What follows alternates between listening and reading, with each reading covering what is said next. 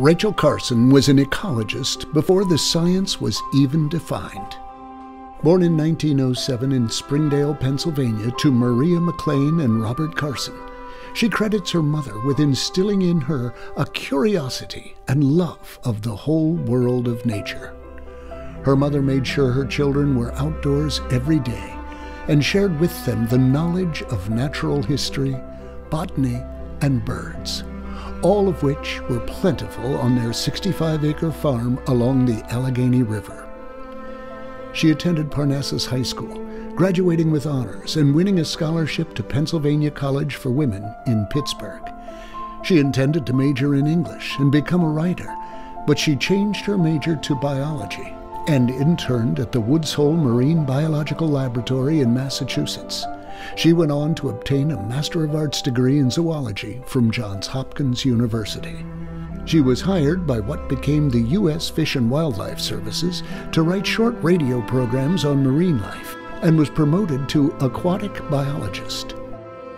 Rachel continued her research and writing, focusing on the impact that humans had on the natural world. She published three books, the Sea Trilogy, and in 1953, her book, The Sea Around Us, was made into a film and received an Academy Award for Best Documentary. Her writings show her embrace of a larger environmental ethic, ultimately an inspiration in the creation of the EPA.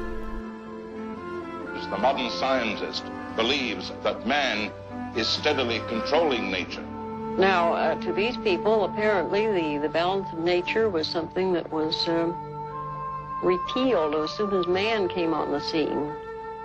Well, you might just as well assume that you could repeal the, the law of gravity. The balance of nature is built of a series of interrelationships between living things and between living things and their environment.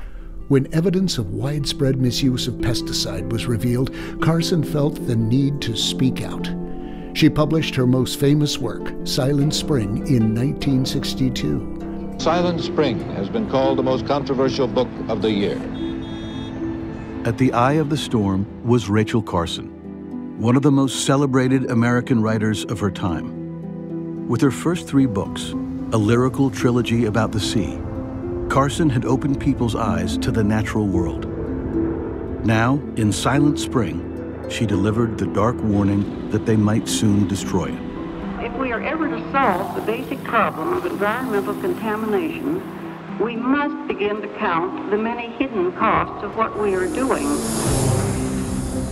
She accused the chemical industry of spreading disinformation and the government's unquestioned acceptance of this information to the detriment of U.S. citizens.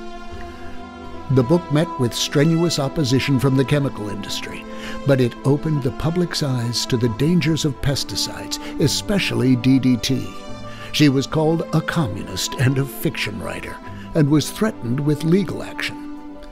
However, President Kennedy, aware of Carson's writings, declared in 1962 that the President's Science Advisory Committee would take up the misuse of pesticides. growing concern among scientists as to the possibility of dangerous long-range side effects from the widespread use of DDT and other pesticides. Yes, I, I, and I know that they uh, already are. I think particularly, of course, uh, since Ms. Carson's book, but uh, they are examining the matter. The U.S. government went into a review of all of her data and months later came out with a report basically backing Rachel Carson. If you have to make a Hall of Fame of, of people in the environmental movement, Rachel Carson is the game changer. She's number one. Rachel Carson died in 1964 after a long battle with breast cancer. By closing loopholes which permitted pesticides to be sold before they were fully tested, this bill safeguards the health of all Americans. I'm sorry the voice of Rachel Carson is still today. She would have been proud of this bill in this moment.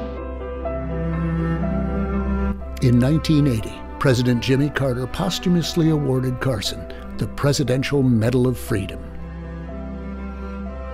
Ladies and gentlemen, it is our honor to induct Rachel Carson into the 2020 Irish American Hall of Fame for her contribution to science.